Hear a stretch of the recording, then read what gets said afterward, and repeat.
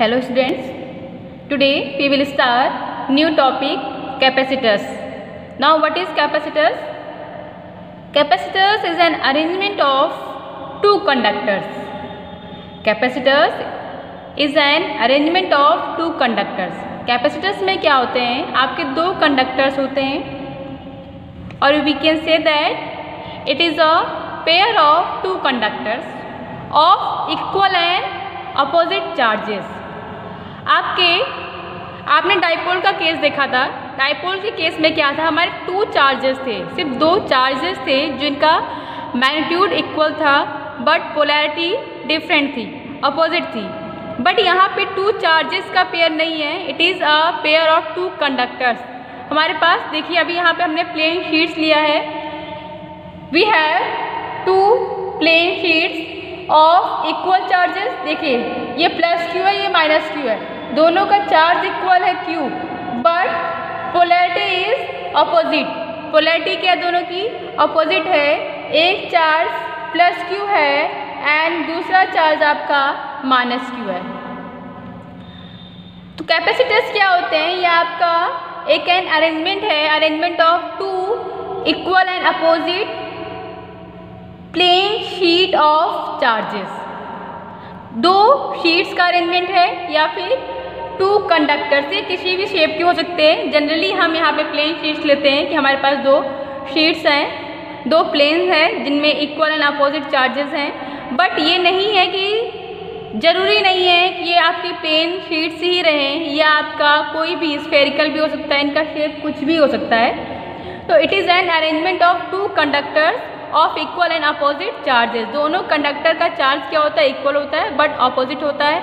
इस अरेंजमेंट को बोलते हैं कैपेसिटर्स एंड ये दोनों जो कंडक्टर्स होते हैं, एक दूसरे के बहुत क्लोज होते हैं। एक दूसरे क्या होते हैं? क्लोज होते हैं। ये नहीं कि एक प्लेट आपने यहाँ ले लिया, दूसरा प्लेट यहाँ ले लिया तो ये कैपेसिटर बन गया। नहीं, इसके लिए ये तो है कि we have two conductors of equal and opposite charges but close to each other एक दूसरे के पास होने चाहिए। इस तरह का अरेंजमेंट होता है।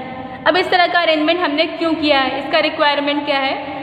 ये आपका यूज़ होता है फॉर स्टोरेज ऑफ़ चार्ज ये कैपेसिटर ये इस तरह का अरेंजमेंट ये क्या करता है? ये चार्ज के स्टोर रूम की तरह काम करता है. मान लीजिए इसमें चार्ज आप क्या होते हैं? स्टोर होते हैं. तो it is use for storage of charges इसमें आपके चार्ज क्या होते हैं? स्टोर होते हैं. So capacitors are an arrangement of two conductors of equal and opposite charges and they store charges. ये क्या करते हैं? चार्जेस को स्टोर करते हैं। ठीक है? नाउ नेक्स्ट अभी इसमें चार्ज स्टोर होता है। कैपेसिटर्स में क्या होते हैं आपके? चार्ज स्टोर होते हैं। चार्ज स्टोर होते हैं that Q will be proportional to V आपके देखिए चार्जेस हैं तो यहाँ पे कुछ ना कुछ पोटेंशियल होगा। जहाँ पे चार्ज होगा, वहाँ पे उसका पोटेंशियल भी होगा। And charge Q is directly proportional to the raise in potential V इसका पोटेंशियल जितना ज़्यादा होगा इस पे नंबर ऑफ़ चार्जेस उतने ज़्यादा होंगे। या फिर चार्जेस जितना ज़्यादा होगा, उतना ही ज़्यादा इसका पोटेंशियल होगा। Both are directly proportional Q is directly proportional to V now mathematically जब हम प्रपोजनल का साइन हटाते हैं तो हम यहाँ पर कोई ना कोई कॉन्स्टेंट यूज़ करते हैं। Here we will use a constant C and that constant C is known as capacitance of capacitor Q is directly proportional to V so Q will be equal to C V here C is known as capacitance of capacitor okay now from this formula we can write C equal to Q by V C को हमने separate कर लिया. C की value आ गई है Q by V so how we will define capacitance of capacitor capacitance of capacitor को define करने के लिए आपने सबसे पहले यही एक्सप्रेशन लिखना है. For a capacitor Q is directly proportional to V.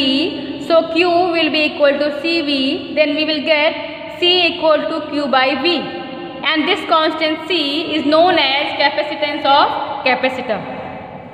Now, what will be its SI unit? C. Q unit of Q coulomb charge है चार्ज यूनिट क्या होगा आपका? कूलम वी का यूनिट क्या हो जाएगा? Volt so unit of C will be coulomb per volt ऐसे को आपका इट इज़ कॉल्ड फेराड इसको एक इंडिविजुअल नेम दे दिया गया है कूलम पर वोल्ट को farad so S I unit of SI unit of capacitance of capacitor is farad and it, it is equal to 1 coulomb per volt. हमें capacitance of capacitor मिल गया है C equal to Q by V capacitor क्या होता है? Capacitor is an arrangement of two conductors of equal and opposite charges and capacitor का capacitance C will be equal to Q by V next step में हमने find out करना है potential energy of a charge conductor charge conductor का potential energy कितना होता है? And how we will find potential energy निकालने के लिए आपको सबसे पहले निकालना होगा वर्क डन डब्लू कि चार्ज है चार्ज को एक पॉइंट से दूसरे पॉइंट पर ले जाने के लिए कितना वर्क डन हो रहा है आपका कितना वर्क होगा? And that work will be store as potential energy किसी भी जगह अगर आप पोटेंशियल एनर्जी निकालते हैं तो उसके लिए पहले आपको वर्क डन निकालना होता है। एंड वही वर्क डन की वैल्यू आपका पोटेंशियल एनर्जी के टर्म में स्टोर होता है। सो so, आपका अगर पोटेंशियल एनर्जी निकालना है तो पोटेंशियल एनर्जी निकालने के लिए हमें पहले क्या फाइंड आउट करना पड़ेगा? We have to find out the value of W and how we will find value of W we know formula आपका चार्ज के केस में डब्लू की वैल्यू पहले भी इसके लिए हमने फॉर्मूला डिस्कस किया है। W equal to V Q formula आपने पढ़ा था V equal to W by Q so for small work done d W will be equal to V d Q d W equal to V d Q ये formula होता है आपका, या आपने अपने फ़र्स्ट चैप्टर में हमने इसको पढ़ा है d W will be equal to V d Q V क्या है यहाँ पर? इलेक्ट्रिक पोटेंशियल है। Electric potential was defined as work done per unit positive test charge V was equal to W by Q तो वहीं से हमारा formula आया है d W equal to V d Q now what will be value of V? हमें formula क्या मिला था? C equal to Q by V so V will be equal to Q by C यहाँ से हमें formula क्या मिलेगा V के लिए? V equal to Q by C now we will put value of V from this formula here यहाँ पर v की वैल्यू हमने पुट कर दिया है. V equal to Q by C and then ये आपका डी क्यू सेम लिख दिया है. Then d W is equal to Q by C d Q now what will be your total work done total work done W will be equal to आपका total work done क्या होता है? अगर हमें small portion के लिए पता है स्मॉल पोर्शन के लिए वर्क डन डब्ल्यू है then total work done W will be equal to integration of d W ये फॉर्मूला होता है this W will be equal to integration of d W of here now will put the value of d W d W की value यहाँ से हम put करेंगे इस फॉर्मूले में डी डब्ल्यू की वैल्यू क्या हो जाएगी? Q by C d Q अब इसकी लिमिट हमने कहाँ से कहाँ तक रखी है? Limit will be from zero to Q why we are writing zero to Q initial आपका चार्ज क्या है? कंडक्टर क्या है? चार्ज नहीं है। उसमें चार्ज क्या? ज़ीरो है। अब आप उससे क्या कर रहे हैं? उसमें चार्ज को जनरेट कर रहे हैं। आपका इनिशियल चार्ज ज़ीरो है। फाइनल चार्ज आपको क्या होगा? Q initial charge is zero final charge is Q so limit will be from zero to Q now यहाँ पे वन बाई सी है। तो देखिए आपका क्या बात हुआ था एक कैपेसिटर के लिए सी की वैल्यू कांस्टेंट होती है। सो so, सी को हम यहाँ इंटीग्रेशन के बाहर ले लेंगे। It will be zero to Q Q d Q यहाँ पे वेरिएबल आपका सिर्फ़ क्यू है। क्यू की वैल्यू ज़ीरो से क्यू तक वेरी कर रही है। सी की नहीं सी आपका कंडक्टर के लिए क्या है कांस्टेंट है। So it will be integration of Q d Q इसको हम इंटीग्रेट करेंगे। इंटीग्रेशन का फॉर्मूला हमारे पास क्या होता है?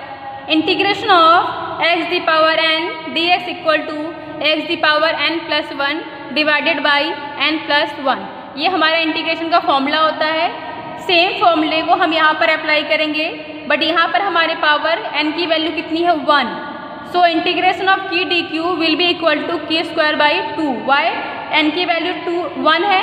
सो यहाँ पे फॉर्मूले में क्यू की power one plus one that will be two divided by one plus one it will be two so integration of Q d Q will be equal to Q square by two तो यहाँ से हमारा integration of Q d Q की value आ जाएगी.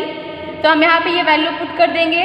Then we will get W equal to one by C Q square by two हमारी limit क्या हो जाएगी? Zero to Q zero to Q limit का मीनिंग है कि पहले एक बार इस वैल्यू में आप क्यू पुट करेंगे देन नेक्स्ट में माइनस ज़ीरो वैल्यू पुट करेंगे। तो आपका जो सेकेंड टर्म है, ज़ीरो वाला, वो तो ज़ीरो हो जाएगा। तो हमारे पास सिर्फ़ ये टर्म बचेगा W equal to one by C Q square by two ये one by C then Q square by two इसकी वैल्यू सॉल्व करने के बाद क्या आएगा? क्यू स्क्वायर बाई टू क्योंकि सेकेंड टर्म आपका ज़ीरो हो जाएगा।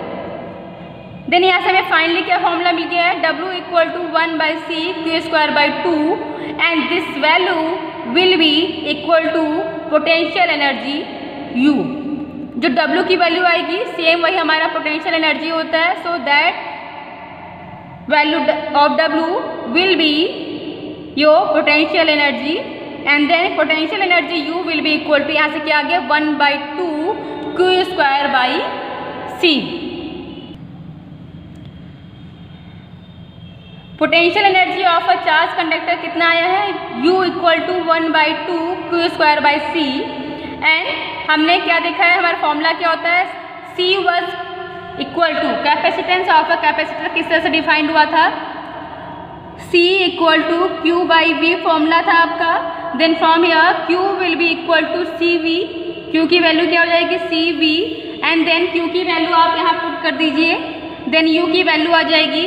U equal to one by two C V square so यहाँ से हमें मिल गया है potential energy of a charge conductor next video में हमने डिस्कस करना है potential energy of a spherical surface thank you